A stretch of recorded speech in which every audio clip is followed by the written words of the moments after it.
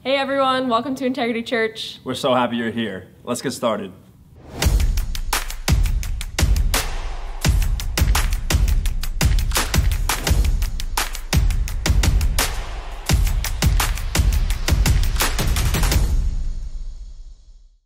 Hey everyone, thank you so much for joining us. I'm Connie. I'm David. Today we're going to be picking up in our series Advantageous. So if we could just prepare our hearts for a time of worship and praise.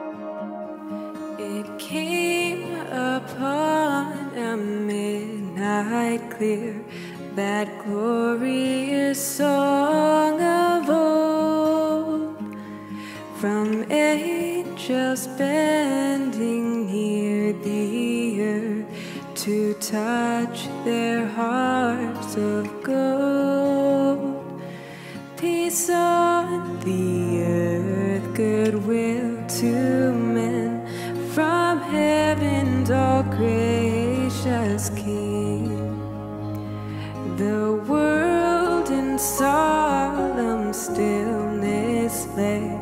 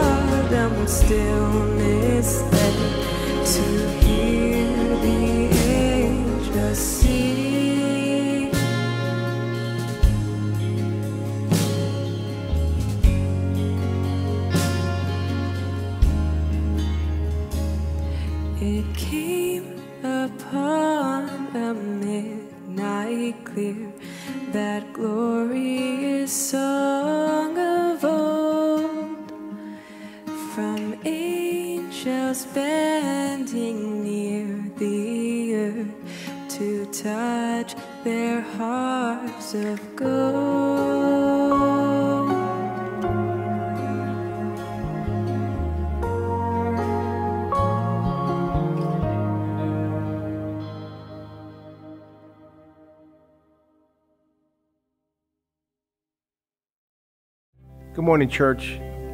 It's offering time, and the theme of our message today is love, and we can express our love through giving this morning. I just want to encourage you to extend your worship and, and giving to God today, and we thank you so much for supporting the work of the church, that we can go on and continue to proclaim the gospel uh, to those around us.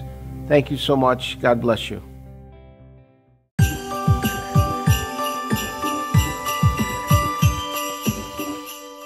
Hey, thanks so much for tuning in. We're so glad that you were able to join with us this morning.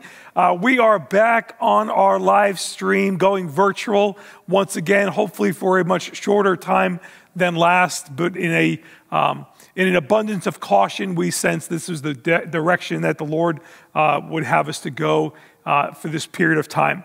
Uh, we're certainly in the midst of a very unprecedented time uh, in history. And speaking to a lot of pastors, it's really frustrating because you know that whatever decision you make, you're always going to upset somebody. And, uh, and so you make those decisions, um, hopefully, with the best interest of everybody um, as the primary, and ultimately looking to honor God uh, in the decisions that are made. And that's why, uh, as a pastoral team, we, we, we knew that this was the direction we needed to go right now. Um, it's certainly an unprecedented time in our history. We've never been here before. And so um, it causes us to rely heavily on the Lord, heavily on um, His Spirit leading us and guiding us. And uh, just a couple things to consider as we kind of continue going forward. Uh, number one, I want to encourage you to remain flexible. Um, you know, much of this stuff that's going on, it's a moving target, and, and decisions need to be made sometimes proactively that we could look back and say, well, that was a little extreme. Maybe we didn't need to do that. Um, but sometimes we look back and say, I'm glad we did that, and it spared some consequences. And so really important for us to remain flexible. Um, I, I, don't know if it's one of the Beatitudes, but if it, it should be, blessed are the, the flexible because they sleep better at night, right? And so um, we appreciate your flexibility and we encourage you to, to remain flexible. Um, number two, I want to encourage you to remain faithful during this time, right? Don't allow the obstacles that you may be facing hinder you from pursuing God, but instead use the obstacles as tools to draw closer to the Lord. Let the, let the fear you may be feeling, or the concerns that you may be having, or the questions you may be having, let that drive you to your knees in prayer and uh, time in the Word and really seeking God. Remain faithful in this time. And then, thirdly, remain focused. Um, let's not forget the big picture. God is at work, not just around us, but listen, God is at work in us as well. He that began a good work in you, he will complete it unto the day of Jesus Christ. And so we sometimes get so caught up in responding to what's going on around us that we fail to see what God is doing in us. And so let's remain flexible, let's remain faithful, and let's remain focused during this season. Don't be discouraged, right? Don't check out, but let's, let's continue to press in together and allow God to use this season to accomplish His will in our lives, His sanctification, uh, in our sanctification in our lives. And let's come out of this loving Jesus and loving one another more and more. Um, hey, we're continuing on in our Advent series. We are on week three, and uh, we've looked so far at the theme of hope, and we talked about that Jesus uh, is, is our hope, right? That hope has a name, and his name is Jesus. Jesus never lets us down. Last week, Pastor Dominic did a wonderful job speaking about peace and declare that peace has a name, and his name is Jesus. This morning, as we continue our journey, we come to our, our third um, word in our theme, that being love. And like the others, love has a name, and his name is Jesus. So, what's the point here? What are we looking to do? Are we, are we changing the name of God each week to kind of fill in our themes? Of course not. When we talk about hope, and when we talk about peace, and we talk about love, as we're about to do, we're pointing out that Jesus is the epitome of these things. He is the epitome of those characteristics. He is the, he is the ultimate example of these things. He is the face of hope. He is the face of peace. He is the face of love, and He is the face of joy. If we want to know what hope and peace and love and joy is, we must simply look at the life and the teachings of Jesus. Well, love applies here as well in the same way. Love has a name, and his name is Jesus. You know, love is a very misunderstood word in our culture today. It's applied to things and to people and to experiences so casually and in so many ways that it really dilutes the very essence of, of what love is. More poems have been written, more songs have been sung, more hearts been, have been broken over this one word, love. But in many ways, the essence of what love is has been lost by many. Love, which, which by design is intended to be the focus of what we extend, that was the intention of what love is. That's what God modeled for us to understand what love is. But it has now become more not the focus of what we extend, but the focus of what we receive. In other words, if I benefit from something or someone that I like, well, then I like that thing. If I benefit from someone or something a whole lot, well, then I love that thing. And so my gauge of emotion oftentimes is, is determined by how much I benefit from it. And if I benefit from something greatly, I would say I love it. Well, that's not the picture of love that the scripture gives to us. Love is not so much about receiving as it is about giving. And God models for that, models that so beautifully for us. It was love, John records, that motivated the Father to send the Son to the world, that whosoever would believe upon him would not perish but have everlasting life. And then Christ came, the very embodiment of love. Love has a name, and his name is Jesus. Love motivated the Father to send the Son, and love motivated the Son to live and indeed to die for you and for me so that we could be with the Lord forever. We learn very quickly from the ministry of Jesus and the sending of the Son from the Father that love is not selfish. It is not self serving. Love, true love, is what is more about what you give, not about what you receive. The Apostle Paul paints a beautiful picture for us as to what love is in his famous passage that so many know in 1 Corinthians chapter 13, known as the, the love chapter. Paul defines for us, under the inspiration of the Spirit, what love is. He says, Love is patient and kind. Love does not envy or boast. It is not arrogant or rude. It does not insist on its own way. It is not irritable or resentful. It does not rejoice at wrongdoing, but, but it rejoices with truth. Paul says, Love bears all things, it believes all things, it hopes all things, it endures all things. And then he reminds us that love never ends. Paul gives us a, a wonderful description of, of how love is, is lived out. And as we consider the life of Jesus and the, the mission of Jesus and the love of Jesus, we see that Jesus perfectly demonstrates what love is. We have seen the patience of Jesus. We have seen the, the, the, uh, the care and the nurturing of Jesus as we read through the Gospels. Christmas is about the love of God made manifest in the person of Jesus Christ. It's God's love for us being so great that He, he willingly became like us, taking on the form of man, so that we might be where He is. It was out of love that, that God created the heavens and the earth. It was out of love that God created man in his own image. It was out of love that God placed man in the garden.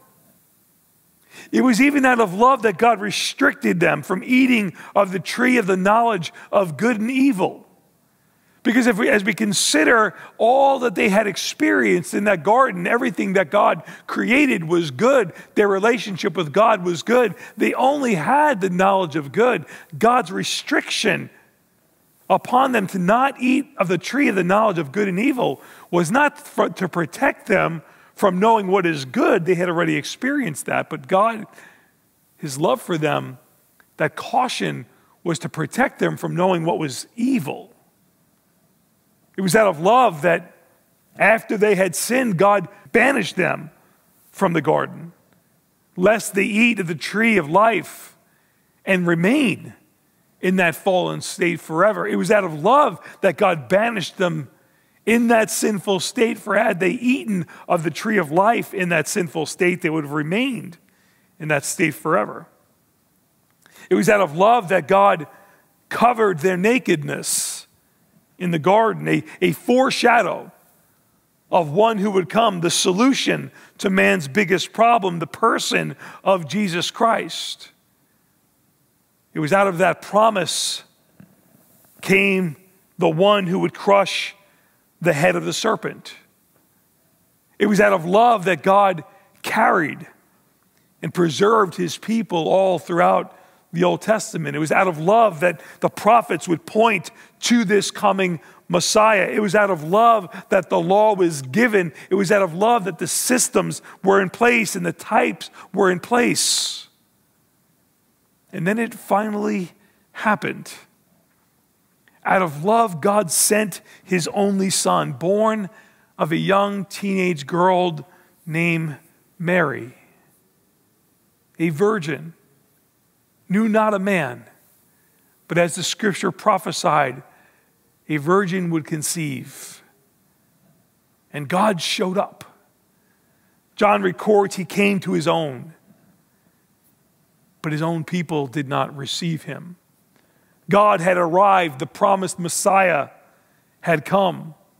And what motivated his entrance into time was love. He would teach us the ways of God. He would heal our sick. He would set free those who were in bondage. He would, he would bring forgiveness to the sinner. He would bring acceptance to the outcast.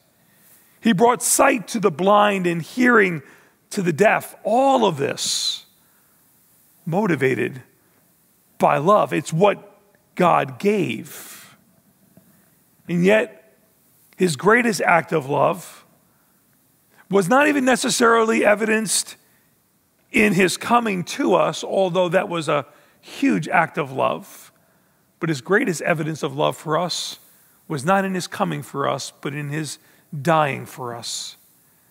Jesus' own words in John 15, Jesus said, Greater love has no man than this, than someone lay down his life for his friends.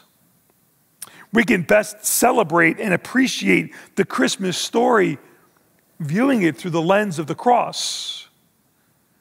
We celebrate the birth of the Savior, but we recognize that the cross brings purpose to Christ's coming. And it is the greatest display of love known to man. So, what do we do with this love? How do we respond to this kind of love? Certainly, our awareness of God's love ought to create in us a greater love for God. Certainly, our awareness and consideration of all that God has done for us ought to create in us a greater love and appreciation for who God is. John writes in his first epistle, chapter 4, 4, verse 19, he says, We love because he first loved us.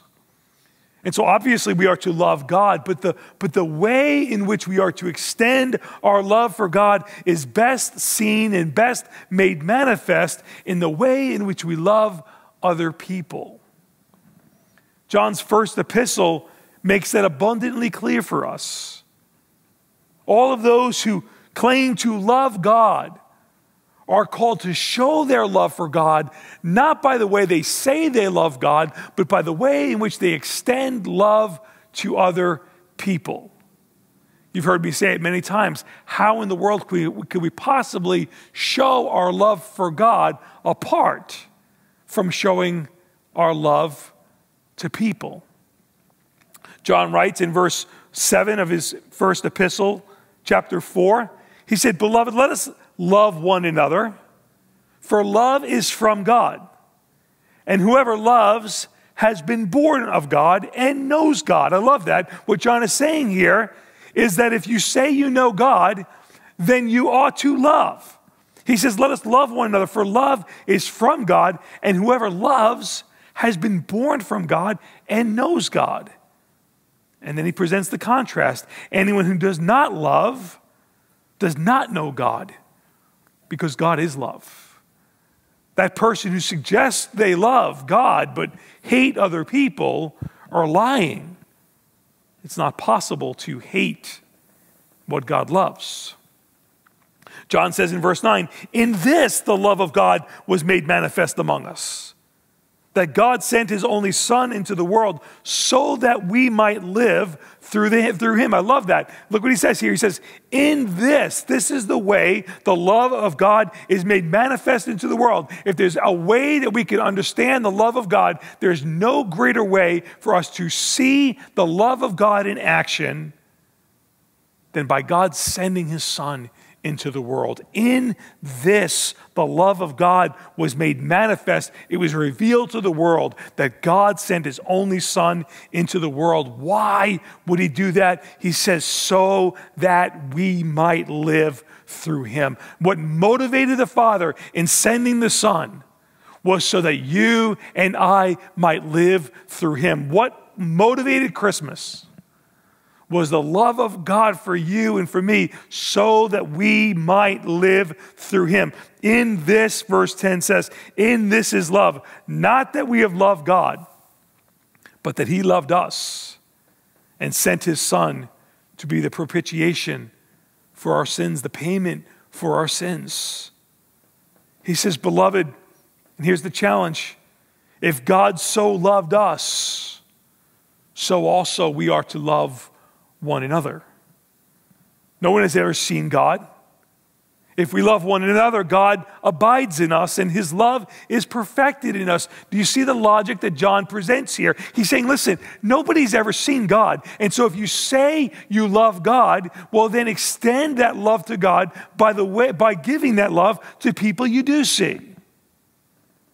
No one has ever seen God. If we love one another, he says, God abides in us and his love is perfected in us or matured in us.